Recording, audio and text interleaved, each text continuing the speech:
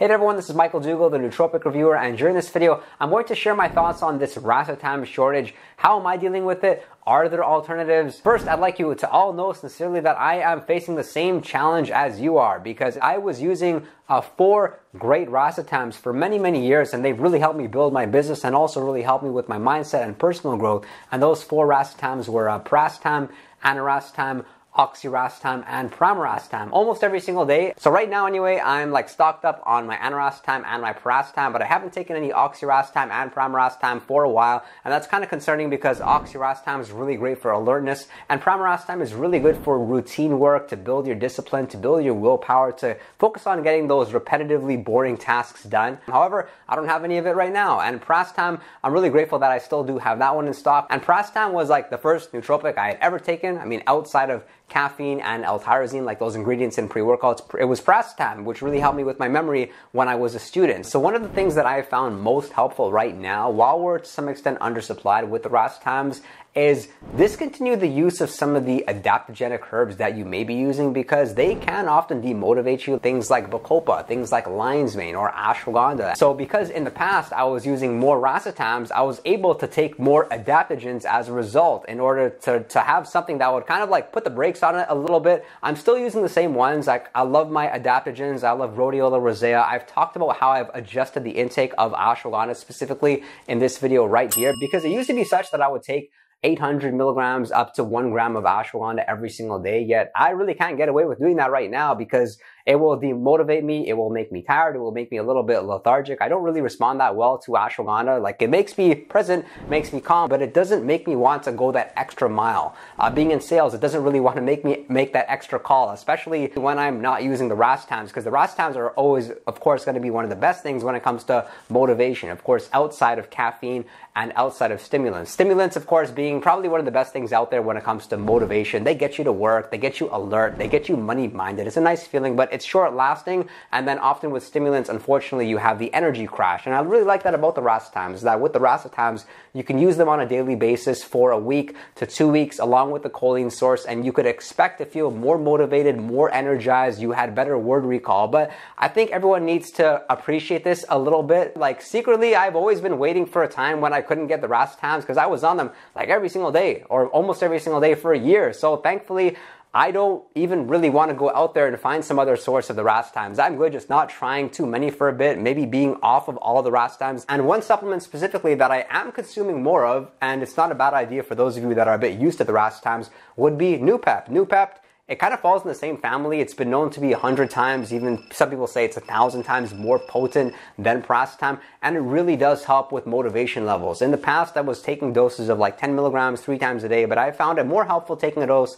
of like 20 milligrams, sometimes 30 milligrams uh, for two servings a day, and then sometimes I'll take 10 milligrams in the evening if I absolutely need to. But it works in a very similar way in that it makes you alert. I found that with though, it's more short lasting versus piracetam or aniracetam time, you pretty much need to be taking it every single day. And then after a couple of weeks, it seems to be saturated in your system and starts working. With Noopept, I've seen a lot of people respond to it very quickly, and some people start to respond to it after a few days of use. But either way, I would recommend that if you do use Noopept, more than once a day would probably work best. A dose of 10 milligrams uh, two times a day, maybe three times a day if you're working very long hours, that could be good. And be mindful with Noopept, different than the other racetams, in that you actually will probably build a tolerance to Noopept fairly quickly. Like with the other racetams, I didn't seem to notice any sort of tolerance buildup, but with Noopept, I knew it was happening and I was making the mistake when I first started using Noopept of taking like 60 to 80 milligrams every single day. And then I took some time off of it and, and I noticed like my word recall was poor. I couldn't think as clearly and it did have kind of like those withdrawal symptoms with it. Like they weren't horrible, but they were noticeable. I, I still felt fine at work and everything, but I wanted to feel like 100% all the time. And, and if that's what you're looking for,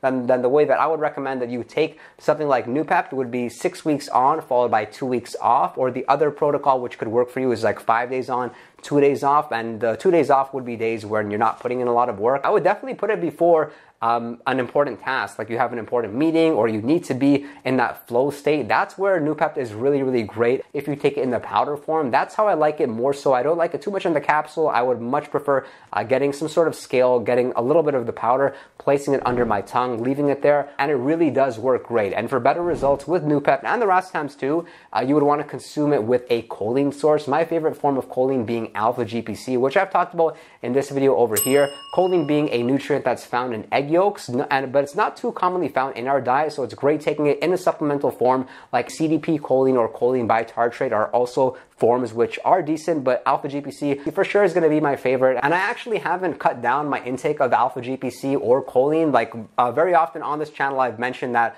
the more racetams you take, the more choline you need to take as a result. Because if you take too many racetams without enough choline, you may experience like headaches or some negative side effects, or you just may not experience the racetams working altogether. But for me anyway, since I've stopped using oxiracetam and pramracetam, yet I've kept my alpha GPC intake the same. See, I'm using 150 milligrams of it three times a day. And alpha GPC and the racetams and of course Noopept is going to be something which is so variable to each individual that it's really important that you try them for yourself especially with alpha GPC, it's like you just don't know what the right dose is. I've seen other individuals and like they really seem to need a lot of it in order for them to get the racetams or even Noopept to start working. And if Noopept has not been working for you the past, then I would say be a little bit patient with it because you take it very subtle. And then like a week later, you think, wow, come to think about it, all my numbers look better. I'm working more hours. I'm more disciplined. I'm feeling better about myself. And that's kind of Noopept for you. It's like you need to have some sort of objective measure to really gauge whether or not it's working. And if you're not in a sales job like myself, I realize it's not always that easy. So you want to